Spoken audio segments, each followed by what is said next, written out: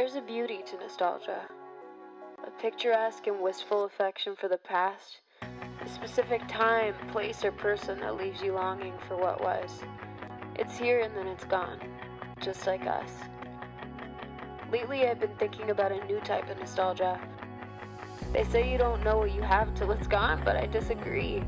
There's that feeling when it's 2 a.m., you're driving down the interstate with a friend, and you think, I know this is gonna be a memory. My most formative memories are always laced with music. One listen to waking up in Vegas and I'm back in my babysitter's car.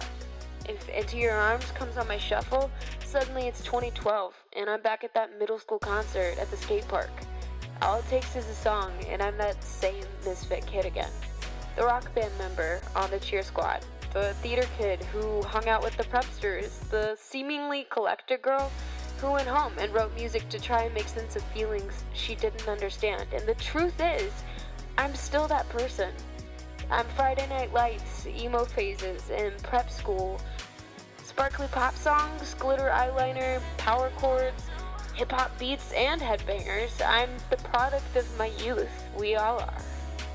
So I want to make music that feels like both the past and the present.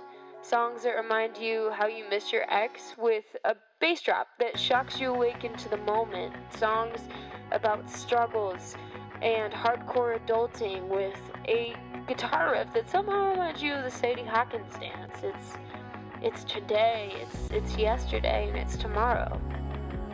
I was made in the 90s, and this is what that sounds like to me.